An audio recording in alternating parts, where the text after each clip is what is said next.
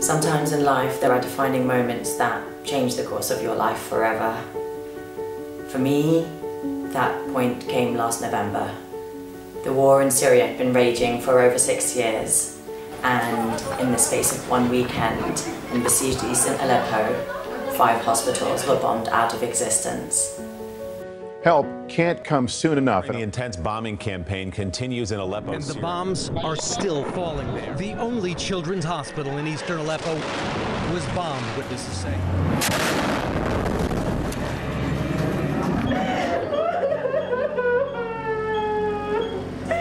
I knew that we needed something that we could all contribute to, and that's how the People's Convoy campaign was born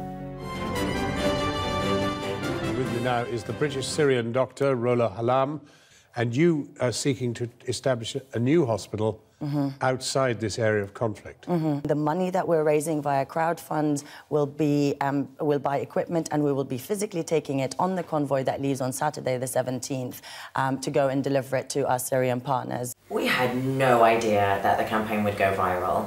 5,000 people from over 10 countries from around the world raised an incredible quarter of a million pounds in just under two weeks. It's happened, it's launch day. I'm just so, I'm so moved, I'm so emotional, I'm so happy. This is the humanity coming together and making this beautiful positive action. Wow, I think I could cry.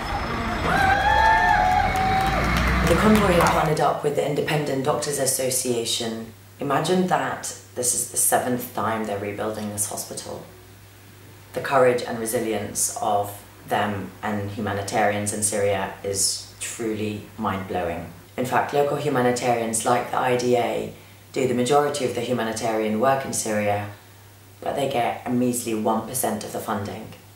And that's why at CanDo we partner up with these local groups and help them to crowdfund what they need.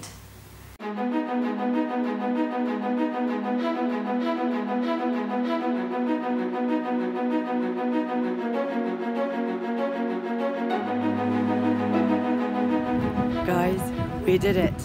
It was a really emotional union with the Independent Doctors Association. They told us that them and so many Syrians had lost hope and we had renewed that so much so that they're going to call the hospital Hope Hospital. I love that the hospital is called Hope Hospital. Hope is so important. It makes us believe in possibilities. Makes us believe that we can make a difference. I think if we can harness that hope and turn it into action, then together we can move mountains.